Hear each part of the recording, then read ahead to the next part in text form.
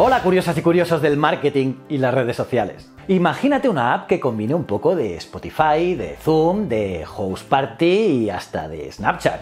Pues Clubhouse es algo así. Y es que su éxito ha sido meteórico desde su inicio y su creación hace poco más de un año hasta las más de 8 millones de descargas. Piensa curioso que esta app de conferencias en vivo, que solo permite audio, ya ha sido valorada en más de mil millones de dólares y cuenta con celebridades enormes de la talla de Oprah, Aston Catcher o Kevin Hart, entre muchos otros. En parte su gran popularidad se debe a la viralidad que le han dado las conversaciones en otras redes sociales como Twitter, donde, entre otros, Elon Musk recomendó la plataforma y así atrajo miles de nuevos usuarios. Sin embargo, no solo es eso, ya que el matiz de exclusividad que implica Clubhouse, donde no todos pueden acceder a la aplicación, al menos por ahora, solamente puedes entrar por invitación, ha dado mucha fuerza, causando intriga entre los cientos de miles que están en la lista de espera para obtener el acceso a las conversaciones de la plataforma. Sin embargo, si eres de esas personas que ya han sido invitadas a Clubhouse por algún usuario y quieres saber más, pues Hoy no solo explicaremos qué es, cómo funciona y por qué ella ha sido prohibida en China, sino que te daré algunos consejos para aprovechar la app para tu marca. No te lo puedes perder. Y bueno, no olvides suscribirte al canal y darle a la campanita si te mola el contenido de marketing. Y así podrás ver todo lo que subo cada semana. Ojo, subo tres vídeos. Soy JJ Priego y esto es Easy Promos TV. ¡Vamos!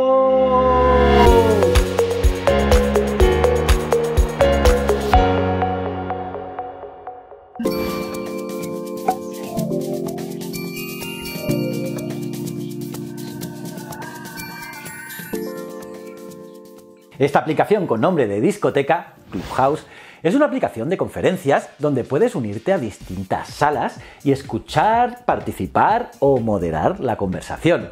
No hay vídeo ni texto, todo es audio y en parte allí está su éxito. A diferencia de Zoom o las videollamadas de otras aplicaciones, Clubhouse no necesita que te arregles, te maquilles o pongas un fondo decente. Al ser solo audio, puedes participar en cualquier lugar que no sea ruidoso o puedes escuchar una conferencia mientras realizas cualquier otra actividad. Y a diferencia de Spotify u otras aplicaciones de podcast, en estas conferencias puedes participar e interactuar con los demás usuarios de la sala en tiempo real. Y así puedes estar en contacto con actores famosos, productores de música, inversores de Silicon Valley o simplemente tus mejores amigos del colegio poniéndose al día. Y todo en directo, en vivo, pues nada se puede grabar previamente. Y ninguna conferencia queda grabada en la aplicación tampoco. Así que menos presión y más interacción en tiempo real. Y esas son las claves del éxito de esta app que también abre la puerta a oportunidades tan geniales como, por ejemplo, un concurso de canto, shows de comedia, un programa tipo radio o un club de lectura. Así que solo debes buscar los temas que te interesan y encontrarás varias salas para entrar y escuchar o pedir unirte al panel y también participar subiendo la mano, que lo puedes hacer allí, e incluso ser moderador. Sin embargo, como ya he dicho, aún este club no es para todos. La plataforma creada por Paul Davidson y Rohan Seth se encuentra en una especie de fase exclusiva, que según sus creadores no será eterna. Y es que en mayo de 2020, hace solo 10 meses, contaban con 1.500 usuarios. Y hoy por hoy hay más de 8 millones de descargas, como te he dicho, pero muchos de los usuarios afectados son figuras importantes o celebridades o influencers y así. Y ya os digo, yo estoy dentro y la verdad es que mola bastante. Pero bueno, para los simples mortales, la forma de entrar es recibir una invitación de un miembro activo o esperar que una lista de espera donde ingresas con tu número de teléfono o el nombre de usuario te dé el acceso para poder entrar. Es lo que me pasó a mí, ¿no? Que un amigo me invitó. No es que sea demasiado famoso. Pero bueno, por esta razón muchos la tildan de una red social elitista. Porque es así como esperar a las afueras de unos locales de estos nocturnos de moda y en sitios muy muy caros, ¿no? Que tienes que estar ahí esperando a ver si, si suena la flauta. Pero no obstante, la plataforma sigue en crecimiento y muchos ya quieren ser parte de ella. Pero bueno, primero hablemos de cómo se usa. Pues bien, al acceder a la aplicación verás una serie de salas con una lista que muestra quiénes están allí. Puedes unirte a cualquiera de ellas y en algunas, donde el anfitrión permita, puedes también participar. lo más común por ahora, ha sido usar las salas como una especie de salón de conferencias con algunos pocos hablando y los demás escuchando. Pero también puede ser distinto, pues depende de los moderadores de cada conversación. Y siempre hay varias conversaciones ocurriendo simultáneamente y el usuario puede ir saltando entre ellas según sea el interés, ¿no? Tú te pones dentro de la sala, escuchas lo que hay y si te mola te quedas y si no pues vas probando. Y bueno, los anfitriones de estas salas por lo general son celebridades, expertos, emprendedores exitosos, hay mucho marketing allí, eh, influencers, periodistas, etc. Pero ojo, que todo el mundo puede abrir su sala, tú mismo, y establecer las propias reglas que tú quieras. O sea que es lo bueno, ¿no? Que tú, aunque no seas famoso, si tienes labia y lo que explicas es interesante, abres tu sala y, ves cómo va entrando la gente para escucharte. Y tú en tu sala eres el capo, ya que eres tú el que das los permisos para hablar o si quieres incluso echar a los miembros. Sin embargo, este no es el objetivo de la red. De hecho, en parte, el acceso exclusivo que se ha aplicado por ahora es justamente para evitar que las salas se vuelvan reuniones entre amigos cualquiera. El objetivo aquí es que las conversaciones sean bien moderadas, con respeto entre los usuarios, aunque también se prioriza la libertad de expresión. Pero aquí estoy convencido, como hemos visto por ejemplo en Twitter, que esto no será fácil. Y justamente por eso, en países donde no hay respeto a esa libertad, Clubhouse no es bien visto. En China, ya no se puede descargar la aplicación. Y eso después de reportes del gobierno de Beijing que había decidido sacar la plataforma de sus servidores tras descubrir salas donde se hablaban temas incómodos para el régimen, por así decirlo. Ya sabéis que allí la cosa va un poco diferente. En fin, la censura acostumbrada en aquel país. Pero bueno, ahora si no estás en el gigante asiático y ya estás dentro del club, te daré algunas recomendaciones para crecer dentro de ellas con tu marca. Vamos allá. Construye una comunidad comprometida. Clubhouse tiene un gran potencial para crear una red de seguidores con alto engagement y hacer crecer tu esfera de influencia.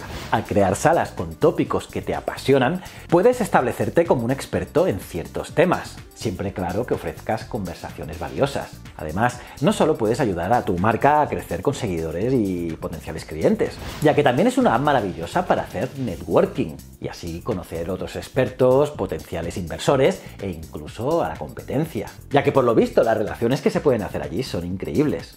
Obtén feedback de inmediato. Si pasas un buen tiempo en Clubhouse, puede que te salga una pregunta de los fundadores preguntando por tu feedback tu feedback en alguna nueva función. Y eso mismo lo puedes hacer tú con tu audiencia. Creas una sala y pides opiniones y feedback de alguna idea reciente de negocios. Y podrías tener no solo clientes, sino otros emprendedores que estén interactuando sobre tu nueva idea de negocio. Incluso podrías resolver un problema de la marca teniendo una conversación con los seguidores más fieles y escuchando así sus consejos. Mantente al día con las noticias y tendencias de tu industria. Está claro que Clubhouse es una gran herramienta de social listening, ya que puedes seguir personas importantes de tu industria, saber de tus competidores y estar en todas las categorías relacionadas a tu nicho. Y así tendrás un gran timeline dedicado a mantenerte actualizado con todo lo que sucede y se opina en tu industria. Incluso con entrar en la sala correcta y escuchar una conferencia puedes aprender muchísimo. Haz anuncios oficiales en Clubhouse. Si ya has logrado tener una audiencia bastante sólida, puedes usar esta vía para dar noticias exclusivas de la marca. Puedes explicar allí tu nuevo modelo de negocio, una nueva actualización de tu página web o, lo que sea y obtener así feedback de inmediato. Así, si tienes un nuevo lanzamiento que será pronto, puedes abrir una sala y anunciarlo allí y dar algún código especial a los oyentes que sería un premio exclusivo, ya que nada de lo que se transmite en Clubhouse queda grabado. Conecta con potenciales inversionistas.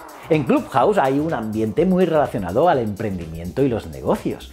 Y hay casos de gente que han conseguido inversores allí en la plataforma. Unos inversores que entran buscando nuevas ideas prometedoras, escuchan en una sala y luego invierten. Así que no tengas miedo de pichear tu marca donde sea necesario, ya que en cualquier sala puede estar tu próximo inversor. También puedes abrir una sala tú mismo para hablar de tu negocio e invitar a expertos que conozcan para saber su opinión. Y bueno, finalmente podemos concluir que Clubhouse es una aplicación que se irá solidificando pronto, ya que tiene ventajas muy importantes como reducir la fatiga de las pantallas, ¿no? de las otras plataformas, que al final acabas loco con los ojos, también poder consumir contenido en cualquier lugar sin ver el teléfono, que también mola, o dar una conferencia sin ponerte una camisa con corbata sobre tu pijama. Y es que hay cosas que molan bastante, o la desaparición del contenido a lo Snapchat, ¿no?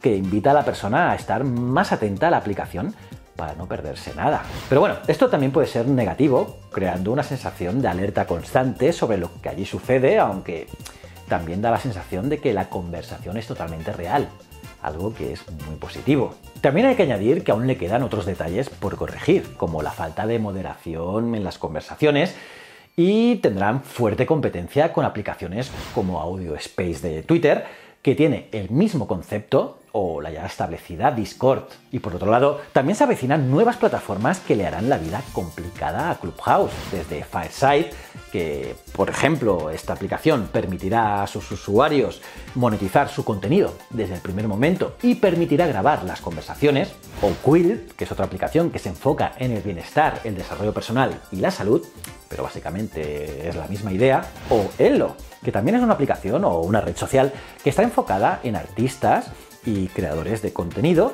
pero con un funcionamiento más parecido a Pinterest, aunque también habilita foros abiertos para conversar y así trabajar digitalmente. E incluso Facebook está trabajando en su propia aplicación de ese estilo. Ya sabéis que Facebook siempre está a la white, siempre está ahí a punto de copiar lo que sea, como ya hizo con Snapchat, ¿no?